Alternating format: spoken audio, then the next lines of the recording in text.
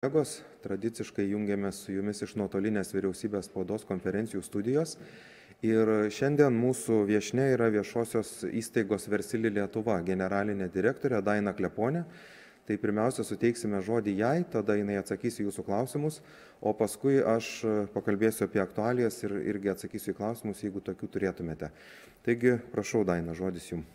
Ačiū Gedriu.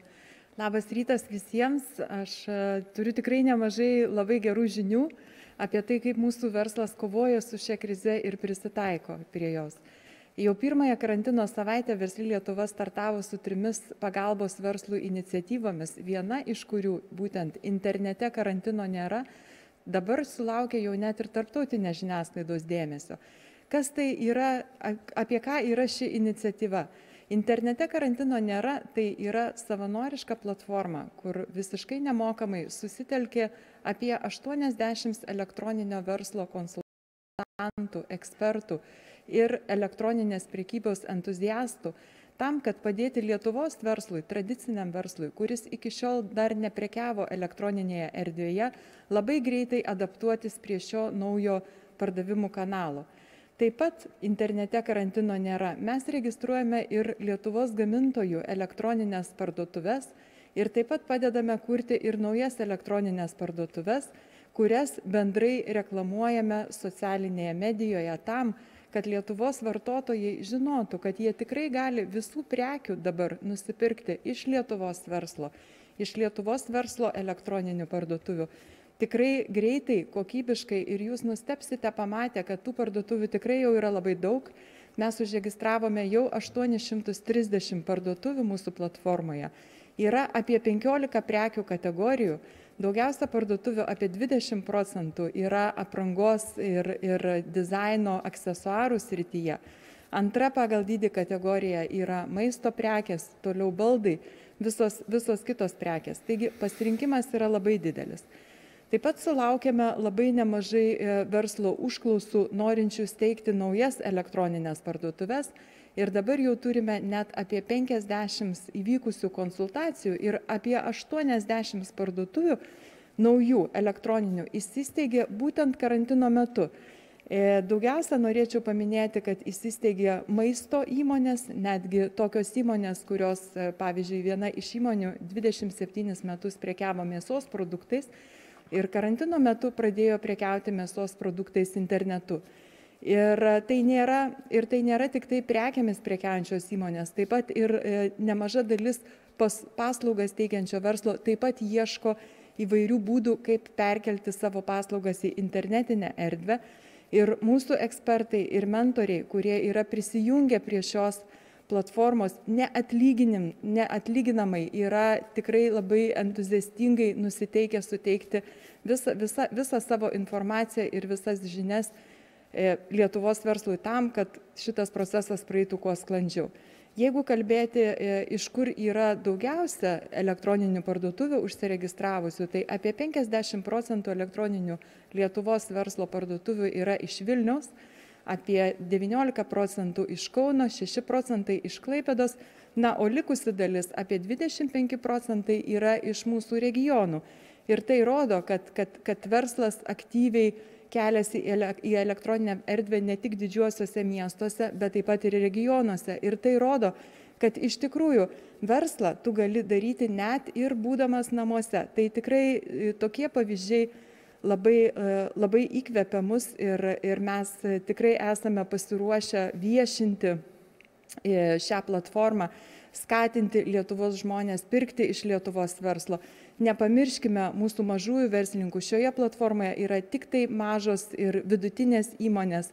Jis nėra prieinama didelėm įmonėm, nes mes laikome, kad šiuo metu pagalbos reikia daugiausia mažoms ir vidutinėms įmonėms taigi labai labai kviečiame jus pasinaudoti ir taip pat noriu pasakyti apie kitą iniciatyvą kuri e, buvo sukurta taip pat pirmojo e, karantino savaitgalio metu e, įvykusio kūrybi, įvykusių kūrybinių dirbtuvių the Crisis metu buvo pristatyta Lietuvos elektroninės priekyvietės iniciatyva, kuri vadinasi Part App, kuri labai greitai startuos ir kurioje neatlygintinai galės prekiauti netgi e, verslai, kurie neturi savo elektroninės parduotuvės. Jie tiesiog galės savo prekes per mobiliąją aplikaciją tiesiog įkelti į šią Part App parduotuvę, o vartotojai vienoje vietoje, kaip prekybos centre, ras mažųjų Lietuvos gamintojų prekes ir šios iniciatyvos autoriai ketina ją lietuvai tiesiog padovanoti ir ir ši iniciatyva yra ir ši aplikacija bus nemokama ne tik verslams dalyvaujantiems joje tačiau taip pat ir pirkėjams taigi verslas tikrai yra pasiruošęs yra yra labai lankstus ir mes iš šios krizės išeisime daug stipresni daug modernesni ir be abejo daug labiau skaitmenizuoti ačiū Ačiū Daina. Matau, Elta turi klausimą. Lukai, prašau. Labadiena. Tai minėjote apie internetinės parduotuvės iš regionų, kad kuriasi labai ir norėjau pasitirauti galbūt, e, kuo daugiausiai prekiaujama juose, kokias prekes būtent siūlo regionai internetu. Mhm. Ačiū, ačiū Jums. E, taip, regiono savininkų šiuo metu kūrė elektroninės parduotuvės ir pereina į erdvę. Ir regionuose taip pat. Taip pat kūrėsi ir tokios naujos paslaugos kaip maisto pristatymo paslaugos, kūrėsi ir, ir bendros platformos vienijančios keletą priekybininkų. Tai mes stebime, kad atsiranda net ir visiškai nauji verslo modeliai, kurių iki šiol nebuvo. E, LRT, žygintai, prašau jūsų klausimas. Labas rytas. Gal čia galėtume tiesiog patikslinti ir paaiškinti, kaip turėtų vykti ta priekybėtės sistema, kurią čia ne per seniausiai per pirmą savaitgalį minėjot, kad sukūrė e, mūsų specialistai. Mhm, sveiki. Tai labai paprastai, mums įkūrėjai netgi demonstravo savo aplikaciją, kuri turėtų, manau, startuoti jau netgi kitą savaitę. E, parsisiunčiu aplikaciją, su savo aplikacija nufotografuoju savo prekes. Iš karto aš galiu tas nuotraukas įdėti į tą bendrąją priekybėtės platformą, nustatyti savo kainą, ten yra mano rekvizitai ir, vart, ir jau ta mano prekė yra tamp, tampa matoma vartotojai. Vartotojas tą prekę išsirenka, jisai gali už ją susimokėti ir prekė yra pristatoma vartotojui namus. Kokiu būdu turėtų būti pristatomos prekes? Ar čia kurjeriai turėtų tarpininkauti, siuntų kažkokios įmonės, ar kaip šitas, šitas reikalas vyks? taip logistika logistikos yra tradiciniai kanalai tai lietuvoj mes turime labai nemažai įvairių įvairių tokias logistikos paslaugas teikiančių kompanijų taip tai ir kurjeriai ir lietuvos paštas ir ir taip pat privačios kompanijos. Ir mes matome kad atsiranda ir naujų kompanijų teikiančių pristatymo paslaugas. Tai pasirinkimas tikrai yra nemažas. Mes kol kas nežinome ką būtent pasirinks kaip pagrindinį logistikos partnerį šios e, aplikacijos kūrėjai. Tačiau manau kad tikrai bus galimybių nemažai. Taip. Elta matau dar turite klausimą. Lukai prašau taip tai dar galbūt norėjau pasiteiraut su kokiomis problemomis dažniausiai na susiduria verslai savo veiklą būtent perkeldami elektroninę erdvę kokių klausimų kyla jiems Taip, mes, mes matydami pačių konsultacijų, konsultacijų įvykę e, labai nemažai, net yra taip pat ir 30 mentorystės porų e, mūsų sudarytų, kur, kur verslas turi testinės konsultacijas su mentoriais. Pabrėžiu, kad visą tai mentoriai mūsų teikia neatlygintinai ir dažniausi klausimai be abejo būna tokie kaip įkurti parduotuvę kaip e, kokia kainodara turėtų būti toje parduotuvėje kaip daryti e, skaitmeninę rinkodarą tai parduotuvei. Ir noriu pasakyti kad e, labai nemažai verslų iki šiol galvojo kad tai yra labai brangu ir labai sudėtinga. Ir mūsų svetainėje internete karantino nėra. Mes taip pat net ir įdėjome tokią instrukciją kaip iš tikrųjų pačiam galima susikurti savo elektroninę parduotuvę ir kad tai yra tikrai visai nesudėtinga ir labai greitai galima padaryti per tris dienas. Tie kaštai irgi yra e, minimalūs, tai, tai tikrai yra, yra lengva. Daina, aš dar pasi, pasinaudosiu savo galimybę užduoti klausimą ir norėčiau paklausti apie kitą iniciatyvą, kurią jūs inicijavote, tai yra verslas prieš COVID-19 kur e, bandote sujungti e, strateginių dabar prekių gamintojus Lietuvoje su potencialiais pirkėjais. Gal galėtum daugiau apie tai papasakoti? Taip, tai čia mūsų, mūsų tokia antroji, antroji iniciatyva, antras ginklas prieš COVID, kur irgi mes startavome pirmąją pirmąją savaitę ir, ir taip pat mūsų svetainėje galima rasti dabar jau yra apie 200 Lietuvos e, gamintojų ir importuotojų pasiūlymai būtent toms priemonėms, kurios yra reikalingos ne tik viešajam sektoriui, ne tik ligoninėms ir institucijoms, tačiau jos yra reikalingos ir žmonėms. Tai mes tiesiog viešiname viešiname tą informaciją, viešiname įmonių komercinius pasiūlymus ir labai džiaugiamės, kad jau turime nemažai, nemažai sėkmės istorijų, kur ir, ir institucijos e, prisijungia prie duomenų bazės, jos mato, iš ko jos galėtų pirkti, iš kokių tiekėjų ir taip pat matome nemažai ir sėkmės istorijų, jau kaip Lietuvos verslas gamintojai prisitaiko prie, prie šios situacijos. Ir jau Lietuvoje pradedamos gaminti ir asmeninės apsaugos priemonės, kaip halatai, kurie reikalingi mūsų medikams, e, skideliai, e, respiratoriai ir kiti dalykai. Tai mes labai greitai e, turėsime savo vietinius gamintojus apsirūpinti šiomis priemonėmis. Taigi, jeigu jūs kažką tokio gaminate ir norite surasti pirkėją, jūs galite kreiptis į Verslę Lietuvą, užpildyti ten anketą ir lygiai pat analogos priemonių jūs galite vėlgi Verslios Lietuvos puslapyje pagal šią iniciatyvą Verslas prieš COVID-19 susirasti gamintoją, kuris tikiu greitai pagamins jums reikiamų apsaugos priemonių. Ačiū Daina. Ačiū Gedriu. Su jumis buvo Verslios Lietuvos generalinė direktorė. O dabar kolegos e, keletas e, aktualios informacijos e, faktų. Tai kaip jau buvo skelbta iš ryto, per vakar dieną buvo vėl ištirti 2301 mėginys. E, laboratorijose lieka neištirta 873 ėminiai. E, per vakar dieną patvirtinti 32 e, nauji lygos atvejai ir iš viso dabar turime 912 patvirtintų lygos atvejų. Iš viso Lietuvoje yra ištirta 30 108 mėginiai, tai jeigu padalintume, reiškia 3 procentai nuo visų ištirtųjų turi COVID-19 virusą. Norėčiau atkreipti jūsų dėmesį į Ukmergę. Tai e, iš viso ten atvejų 79, iš jų, kaip žinome, 6 dėja žmonės mirė, 36 e, užsikrėtė yra medicinos darbuotojai, 21 ligoninės pacientas ir 2 atvejai yra įvežtiniai iš užsienio. Iš viso buvo nustatytas 400 e, asmenų nustatyti, kurie turėjo sąlytį vienaip ar kitaip su užsikrėtusiais asmenimis, tai 79 ir kaip jau girdėjote tikrai buvo mestos visos pajėgos kad ištirti maksimaliai e, ukmergės gyventojus kad užtikrinti apsaugos priemones medikam pareigūnam savivaldybės darbuotojam. Tai štai e, kovo pabaigoje dvidešim aštuntą ir trisdešimtą dieną e, buvo ištirti šešiasdešim šeši darbuotojai du buvo teigiami rezultatai likę neigiami. Taip pat buvo ištirti du šimtai septyni darbuotojai tarp jų 24 nustatyti užsikrėtę COVID-19. E, pagal poreikį kovo 27 dieną buvo pasitelkti penki medicinos darbuotojai iš santoros klinikų į pagalbą ukmergiai, tačiau šiuo metu, e, pasak mūsų duomenų, tos pagalbos jau nebereikia, gydytojai grįžta į reikiuotę.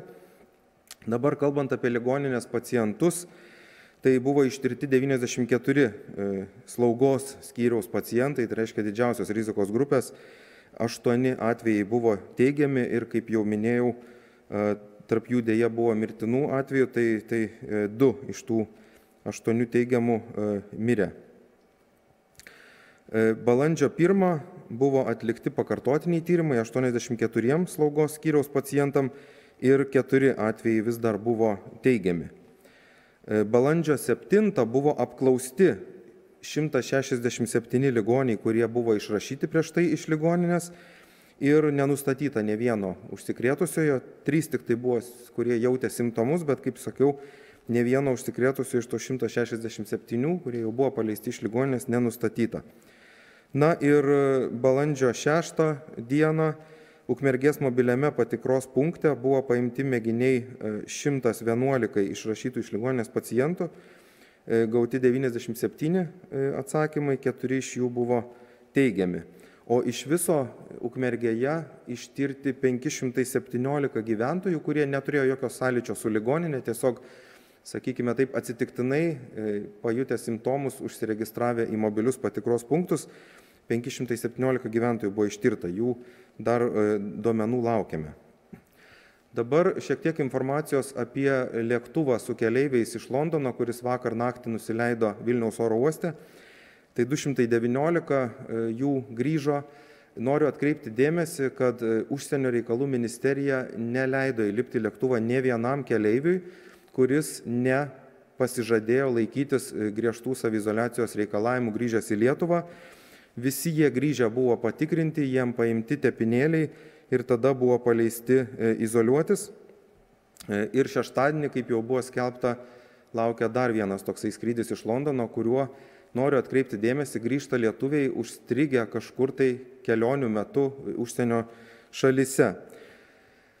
Kaip jau buvo skelbta, e, nors užsienio reikalų ministerija kreipėsi, bet susisiekimo ministerija neišduoda leidimų skrydžiam iš Dublino į Londoną, tai į Vilnių atsiprašau, tai klausimas kodėl, atsakymas yra toksai, kad e, mūsų duomenimis galima iš Dublino į Londoną atskristi ir reguliariais skrydžiais, e, ir pigiomis avialinijomis, bilietų kainos tikrai yra įkandamos, tai dėl to tie skrydžiai, na, mes nematome jokio pagrindo jiem E, jiem vykdyti.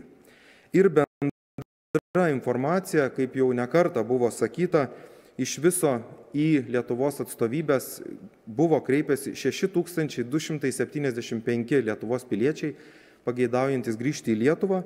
Tai su valstybės pagalba arba savarankiškai jau grįžo 6095 reiškia visiškai nedaug jau likę tų kurie negalėjo grįžti ir šiuo metu ambasada dar palaiko ryšį ambasados lietuvos palaiko ryšį su šimtu aštuoniasdešim piliečių. Iš jų vieni yra artimesnėse šalyse užstrigę kiti tolimesnėse.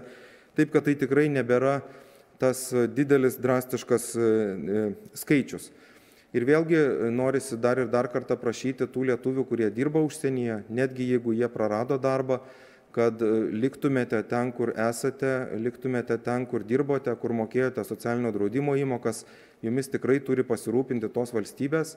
Ir e, baigsis karantinas, e, tada tikrai galėsite grįžti, susitikti su artimaisiais, nes dabar vėlgi mums svarbiausia yra užtikrinti, kad čia Lietuvoje kaip įmanoma mes tą virusą suvaldytume ir vėlgi nebeįsileistume naujos bangos įvežtinių atvejų, nuo kurių Lietuvoje ir prasidėjo tas plitimas. Ir paskutinis dalykas, ką norėjau pasakyti, tai yra policijos informacija. Tai vėlgi policija labai aktyviai stebi, kaip žmonės laikosi saviizolacijos ir karantino sąlygų, taisyklių. Ir vakar policija surašė 111 protokolų už tuos pažeidimus, skyrė baudas e, pusę nuo minimalios, tai reiškia 250 eurų jos tikrai yra nemažos ir tikiu, kad yra paveikios, bet na 111 dar vakar buvo skirta. Iš viso nuo balandžio 3, kai policija įgavo teisę skirti tas baudas, e, jau yra surašyti 350 protokolų. Taip kad policija tikrai dirba savo darbą, o e, daugiau, detaliau apie tai, kaip jinai tą darbą dirba, galėsite šiandien sužinoti po vyriausybės posėdžio kai e, į jūsų klausimus atsakys premjeras, vidaus reikalų ministrė ir policijos generalinis komisaras Renatas Požela. Tai tiek būtų aktualios informacijos. Jeigu turite klausimų, atsakysiu. Klausimų nematau, tai tuom kart dėkoju uždėmesi ir susitiksime po pietų e, po vyriausybės posėdžio. Ačiū Jums.